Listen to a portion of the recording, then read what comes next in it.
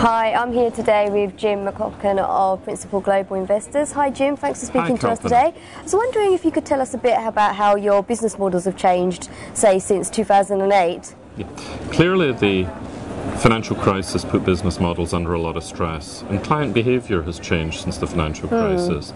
Our multi boutique model has worked quite well and been robust through the financial crisis because it enables us to have very active, committed mandates of the type that clients are now seeking out. Sure. And, um, you, you know, I was listening to your panel earlier and there was a little talk about the Eurozone crisis. Do you think it goes beyond Greece? Unfortunately, yes. We're very focused on Greece right now because that's where the emergency is and uh, where the default could happen quite soon, though I think it is actually much more likely that the default will happen and will happen sometime a year or two down the road. That's Greece. I think Portugal will see oh. default. I think Ireland is already seeing a progressive unwinding Yep. of the unconditional guarantee of the banks. Those small countries, I think Europe can contain a process of oh. rescheduling or reprofiling.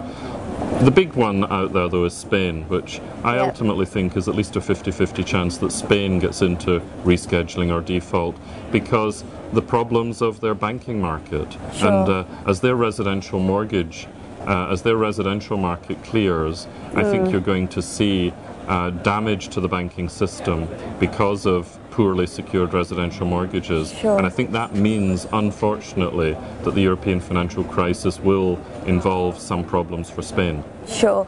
And um, do you think we're heading for another recession? And also, um, do you blame the regulators? Well, I think we're headed for a recession in peripheral Europe. I actually, and that meaning, meaning Spain, uh, Portugal, Ireland, Greece, and actually Italy. Yep. I think those countries are headed for recession at a time when Germany is booming.